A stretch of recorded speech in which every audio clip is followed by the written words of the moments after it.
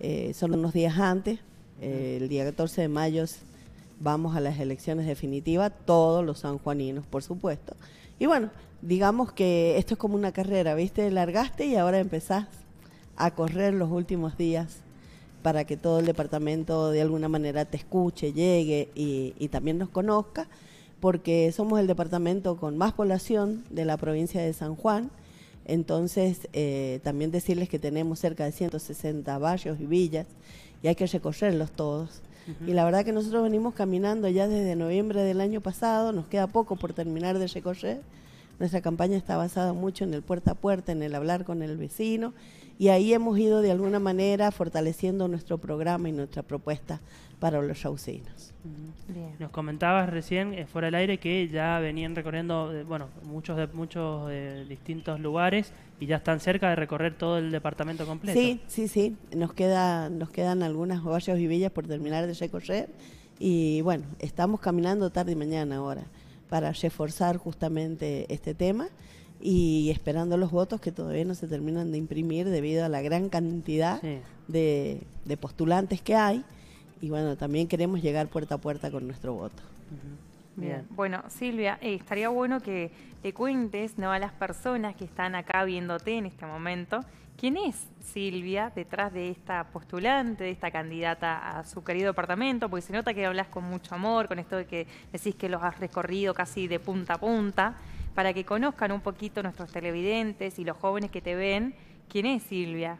Bueno, eh, Silvia Pérez es una mujer, eh, por supuesto, la única mujer de eh, la subagrupación Vamos San Juan como candidata. He militado desde muy joven en política. Yo invito a los jóvenes a que militen en política porque es muy bueno intervenir, escuchar, participar y decidir. A veces todos decidimos desde afuera, pero es lindo estar dentro para hacer esos cambios que muchas veces nosotros queremos. Aparte de eso, bueno, soy mamá, tengo dos chicos, chicos les digo yo, un varón y una nena que ya están casados, tengo tres nietos, uno de cinco. Abuela joven, sí, entonces. Sí, sí, eh, bueno, nos casamos jóvenes, estuvimos jóvenes. Hoy los matrimonios o las parejas se han extendido. Antes era mucho más, más joven el, el inicio de, de la familia. Así que tengo a Benjamín, que tiene cinco años, Delfina, que tiene cuatro, y Agustina, que tiene uno. Eh, son mis tres nietos amorosos, que los amo. Eh, y a su vez, bueno, tengo siete hermanos, seis hermanos, perdón, somos siete en total. Familia numerosa, entonces, sí. dichosa los fines de semana en su casa. muchísimos, muchísimos somos. Eh, soy hermana de un artista plástico que falleció, Mario Pérez que siempre lo digo con orgullo, eh, falleció ya hace cuatro años, quien es el que crea el monumento al cruce de los Andes en la calle España y República del Líbano. Eh, mi profesión es docente, soy profesora, he dado clases en distintas escuelas de la provincia de San Juan y también en el departamento de Rawson. estamos de licencia, he sido concejal, diputada y ahora estoy a cargo del Ministerio de Trabajo. Entonces, ¿qué vengo a ofrecer yo? Bueno, primero vengo a ofrecer mi experiencia, mi capacidad, el hecho de ser Yausina, haber nacido en Shawson, haberme criado en Shawson, conocer el departamento, conocer la idiosincrasia, conocer la cultura, pero también hoy hay que transformar este departamento que necesita ya un cambio, un cambio este, radical. Yo digo de 180 grados, nunca voy a decir de 360, decir que los raucinos somos orgullosos de ser raucinos, somos un pueblo pujante con muchas ganas de trabajar con mucha juventud, prácticamente más del 50%. Eh, hay gente entre 0 y 18 años que este, vive en Shawson y bueno, para los jóvenes también eh, vamos a trabajar mucho con ellos. La idea es poder crear, eh, digamos, una bolsa o una base de datos donde podamos interpretar y trabajar con estos jóvenes con los cuales me ha tocado interrelacionar mucho en mi carrera docente y recién lo decíamos fuera de cámara que este, el joven va cambiando año a año su léxico, su forma de interrelacionar. Entonces, bueno, queremos que los jóvenes en, en Rawson también tengan protagonismo, porque lo van a tener dentro del departamento, que también le podamos ofrecer todo esto que viene tomado de la mano de eh, lo que es la tecnología, que es muy importante, que los necesitamos a todos y que realmente vamos a establecer un cambio con ellos de la mano también porque nos interesan. Porque este, sabemos muchas veces que esa rebeldía que ellos tienen a nosotros nos nutre, porque realmente es importante. Del joven nosotros que tomamos esa energía, esas ganas de cambiar y, esa, eh, digamos, ese ímpetu que a veces eh, los mayores no es que no lo tengan, lo, lo, van apaciguando a través del tiempo y empiezan, no, tranquilo, ya vamos a arreglar. Bueno, decirles que yo nunca lo perdí, más allá de que sea mayor, porque soy muy inquieta, soy operativa, me levanto trabajando, me acuesto trabajando, me gusta gestionar y bueno, y vamos, vamos todos, que, que va a cambiar de la mano de todos juntos, por supuesto. Bueno, eh, acabas de decir que sos la única mujer dentro del frente que en este momento te estás presentando vos de la lista. Eh, pero compartís en el frente con otros candidatos que incluso están en la actual gestión. Sí, también en actual eh, gestión. ¿Por qué vos decís que darías una vuelta de 180 y no de 360 sabiendo que querés cambiar casi todo lo que hoy y yo digo, claro, 360 porque hay una base del departamento que es importante, que no hay que desechar, de cosas que se han hecho y que hay que seguir manteniendo. Eh, ¿Cómo cuáles? ¿Cuáles serían y, vos? Y por ejemplo, por ejemplo, nosotros hemos hecho cambio dentro del peronismo, que han habido distintos actores. Eh, tenemos un eh, el predio a la superiora, por ejemplo, que hay que darle mucha más vida a ese predio, que sea mucho más explotado por los raucinos, que sea mucho más compartido con lo que tiene que ver con el deporte. Ahí es donde creo que debemos tener un lugar de encuentro con, con la juventud y con todos aquellos que quieren, que quieren trabajar. Tenemos un centro de convenciones que también se hizo, digo, respetar lo que hay, tenemos un museo que es muy importante, los SIC, que se han hecho en distintas gestiones y creo que esto es lo importante, es fortalecerlo, revalorizarlo, darle, eh, este, eh, digamos, una inyección de, gestión y que también eh, de alguna manera se actualicen porque a veces este, lo que vemos es que se han quedado, si bien brindan y tienen una función, como que se han quedado en el tiempo y hay que actualizarlos. Eh, relacionarnos mucho con lo que tiene que ver con la educación, ya que soy docente. Hemos recorrido la mayoría de las escuelas del departamento, hemos hablado con los docentes, con los directivos, diciéndoles que este, cuando yo sea intendenta, porque lo voy a hacer, el 10 de diciembre voy a estar asumiendo, y vamos a interrelacionar mucho con lo que tiene que ver con la educación, fortalecer mucho los gabinetes psicopedagógicos que son necesarios, que si bien el Ministerio de Educación los tiene, pero son insuficientes. ¿Y por qué no?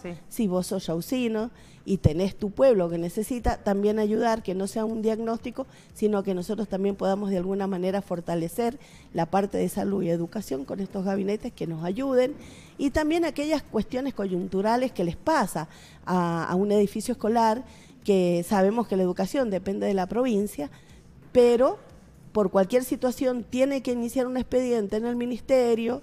Que se pueda referir dentro del departamento. todo el proceso y tal vez es para, claro, tal vez es para cambiar algunas luminarias. Entonces, bueno, a ver, en esto coyuntural que estemos nosotros, hay que pintar una escuela, mira, ministerio, si vos me das la pintura, yo te pongo la mano de obra, o las dos cosas si son necesarias. Hay escuelas que hemos visto que necesitan de, fortalecerlas y que no son tan grandes cosas. ¿Y por qué no ayudar? Si son eh, mis eh, este, vecinos, a quienes eh, uno se presenta, a quienes uno les sirve, a los chicos. Tenemos un programa muy bonito para el Médano, que justamente yo te escuchaba de turismo, y yo creo que a Jawson le hace falta mucho activar el turismo, así que tenemos pensado eh, una ciudad de los niños en el Médano, donde este, puedan llegar todos, los raucinos y los que no son raucinos, con algo donde este, eh, vaya fortaleciendo, porque el Médano es hermoso, tiene paisajes espectaculares. Sí, una belleza, sobre todo cuando eh, se hace la celebración exactamente, de su departamental. Es el vergel que tenemos y lamentablemente eh, muchas veces no se conoce y la gente que vive allí también generalmente necesita crecer. Y sabes una cosa, Rawson tiene una extensión de 300 kilómetros cuadrados. Y justamente el Médano es prácticamente el centro de Rawson. Exacto, sí. Entonces, bueno, hay que fortalecerlo. Hay que hacer este, mucho turismo, hay que trabajar para que también, ahora cuando lo escuchaba recién a Juárez que decía el 60% de ocupación, que nosotros también podamos tener. Está formar parte, claro, claro formar parte de esta de esta guía turística y que, este, de esta manera le podamos dar trabajo a la gente de Rawson. Y justamente hoy, como estoy en el Ministerio de Trabajo también, queremos fortalecer mucho el tema de los raucinos que hoy están desocupados, ver cómo vamos a llegar. Hay muchas formas de capacitar, de vincular, de fortalecer el trabajo de los raucinos, pero también de crear trabajo para los raucinos. Y por qué no, si tenemos tanta extensión, hacer como han hecho muchos intendentes, de los cuales yo los valoro, uno de ellos, nuestro vicegobernador, eh, Cristian Andino, que él este, ha llevado mil casas a su departamento, pero de una gestión propia. Entonces, bueno, ¿por qué no hacerlo en un departamento tan grande? Entrar al mejoramiento de villas y barrios, donde tenemos villas que están este, estancadas porque llevan muchos años, como es la Villa San Damián, la Villa Hipódromo y otras que están ahí. ¿Por qué consideras que eso que vos planteás ahora no se realizó en la gestión anterior o en esta gestión?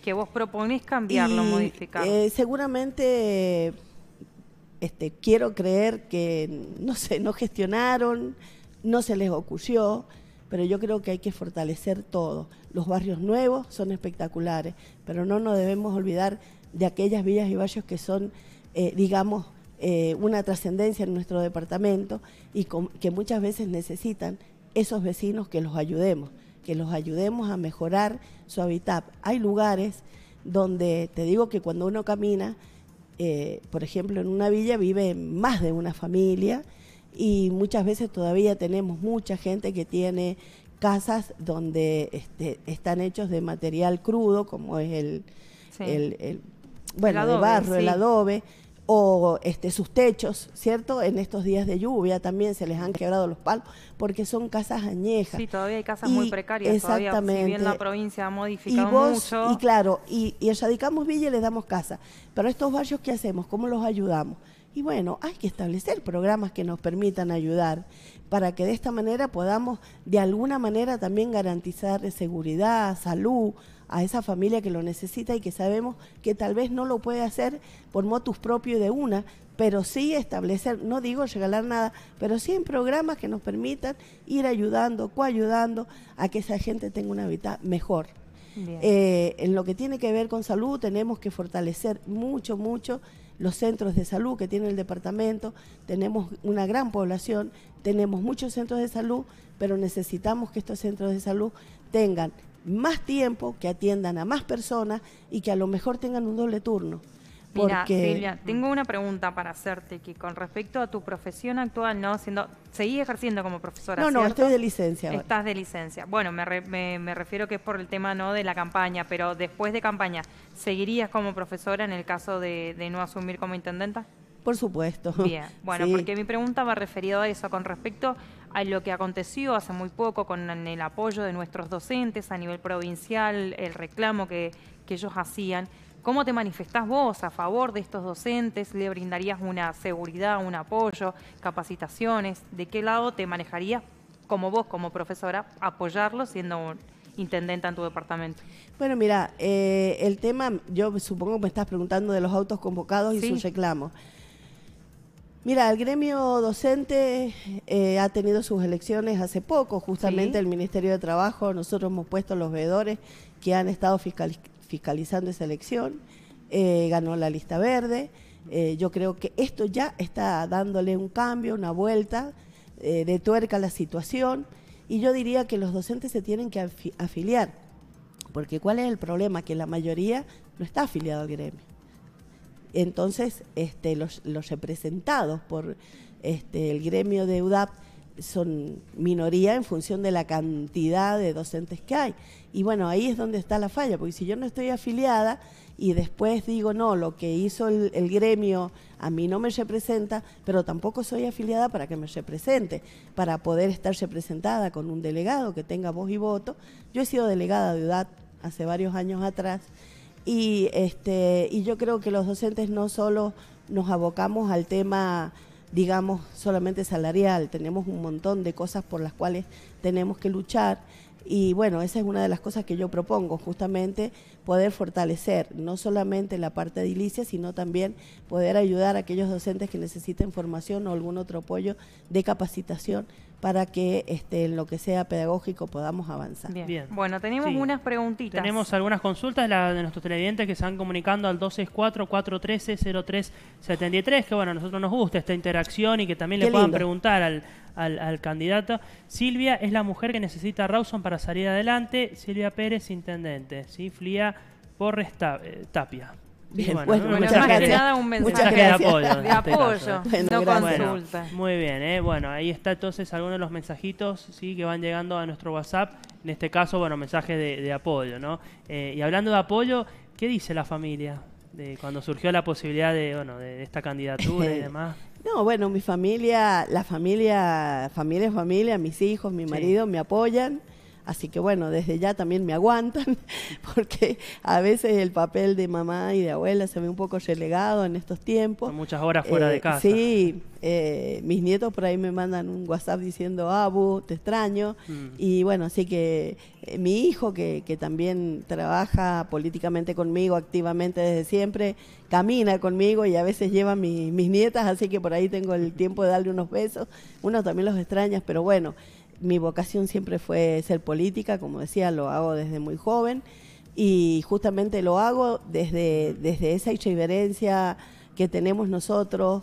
De, yo recuerdo que, y, todavía lo veo y creo que hay cosas que cambiar, eh, nosotros venimos de una familia humilde, así que por ahí muchas veces habíamos sufrido discriminación o tal vez este maltrato cuando vas a un lugar porque te miran y y bueno, como había un dicho por ahí, como te ven, te tratan, y si te ven mal, te, maltratan. y a veces cuando sos humilde, querés estar mejor, pero bueno, a veces no te da. Y lamentablemente, mucha gente te mira y si ve a alguien bien arreglado, lo atiende mejor a ese que al otro. Y eso a mí siempre me molestó. Desde joven me molestó, me sigue molestando. Y, y bueno, esas son las cosas que tenemos que cambiar. Eh, yo siempre decía, pero porque lo decía mi mamá, el hábito no hace el monje. Todos somos iguales no podemos pensar que somos más que nadie ni menos que nadie, pues somos seres humanos y como personas tenemos que tener empatía, eh, conocernos, ayudarnos y, de esa manera avanzar. Por eso yo amo mi departamento, por eso yo amo su gente, por eso este, quiero trabajar mucho con la inclusión, mucho con la gente de discapacidad también que tenemos, programas para las personas mayores eh, porque los jóvenes por ahí, bueno, aunque yo estaba acostumbrada, cuando era docente me decían, ahí viene la vieja, y todavía me acuerdo. bueno, ya saben, acá tenemos lo a la, deben saber, porque seguro que es algo que se replica, y escuchaba yo bueno, yo también lo he hecho, le pido disculpas, pero bueno, yo en el secundario también le hemos dicho a la profe. Ahí viene la le poníamos, les mandábamos, mando un beso grande que incluso me tocó después tener varias profes del secundario en la universidad, en la, eh, en la nacional, ahí cuando cursaba en ese entonces eh, la carrera de abogacía, tenía un par y que decía, Dios, ¿qué hice? Pero bueno, pero eh, bueno lo, supieron entender. Es la juventud, es, la, juventud. lo que uno también permite, ¿no? la confianza cercana para que el joven se sienta contenido. Sí, también bien. Y bueno, yo me llevaba muy bien con los jóvenes, siempre.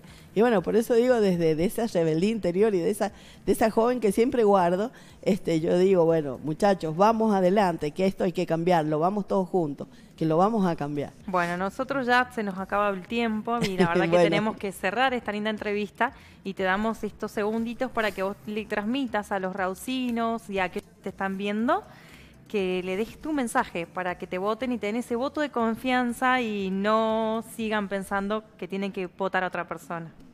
Bueno, ¿qué le puedo decir yo a, los yaucinos? Primero les quiero decir que como yaucina he nacido y me he criado en este departamento, que lo conozco palmo a palmo, que este, quiero luchar y trabajar por ustedes, por cada uno de ustedes, para que tengan un trabajo digno, para que luchemos eh, para que tengan los servicios que tanto nos reclaman, que es un común denominador, que eso es lo primero lo que nos vamos a abocar, pero que vamos a trabajar con todo lo que tenga que ser, con educación, con salud, con cultura, con turismo, con trabajo, y que confíen en esta mujer que tiene lo que tiene que tener, el coraje que tiene que tener para cambiar y dar vuelta a este departamento que tanto le hace falta un cambio, un cambio para bien, un cambio para que los yaucinos, digamos, ahora estamos en igual de condiciones, porque ellos nos dicen, miramos otros departamentos y los envidiamos, con una envidia sana. Nosotros queremos llegar ahí y sobrepasar ese límite, por supuesto. Bueno, muchísimas gracias, Silvia, gracias a ustedes. por tu tiempo con nosotros. Bueno, muy bien. Nosotros eh, vamos a ir a una última pausa, sí. ya en los últimos, eh, últimos minutos del programa de hoy, y ya volvemos con el cierre.